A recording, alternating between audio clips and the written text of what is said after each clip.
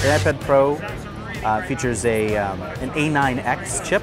Uh, they have it's a 64-bit uh, chip, which is a more powerful version of the chip that's in the new iPhones. Uh, it's two gigabytes of memory, faster flash storage, 80% faster is what Apple claims uh, than portable PCs that have shipped in the last 12 months. The keyboard accessory you see here is custom made for the iPad. It's going to cost 169, and an additional stylus will cost $99. So then the display, of course, is the most defining feature of the iPad Pro. It's a 12-inch display.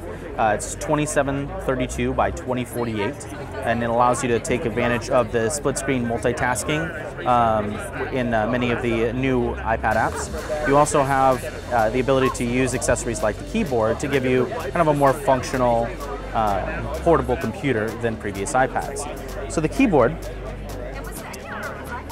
works just like a smart cover. So if you disconnect it from the bottom, fold it over, acts like a smart cover. Notice it's slightly uneven here along the edge because of the additional keyboard, uh, but it does does fit flush because of the uh, additional joint material that they put in here. So if we open it up, and then nestle the iPad right down into this groove here, uh, you can uh, set the iPad up You'll notice that there's a small connector here which connects the data uh, port and power, uh, which powers that keyboard. So once we nestle it in there, we can start typing. So apply here.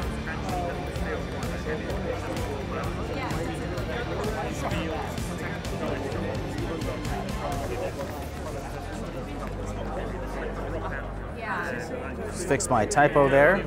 So this, uh, the keyboard throw is about the same as the new MacBook. So if you've touched one of those yet, this is going to feel very similar to you. But there is a sort of uh, vinyl material that's wrapped over the top of the keys, uh, which creates a closed unit. So it's not actually separate keys. Apple says they've developed a new um, plunger mechanism for these keys uh, that is very similar to the new MacBook. It feels okay. The throw's pretty minimal, but it's not distracting. I can still type on it at full speed. It doesn't feel like there's uh, there's too much difference there between typing on this and one of the new MacBooks.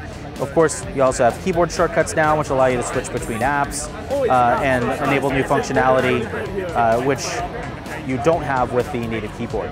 If you do unplug the uh, keyboard from the iPad, your normal uh, on-screen keyboard will just appear.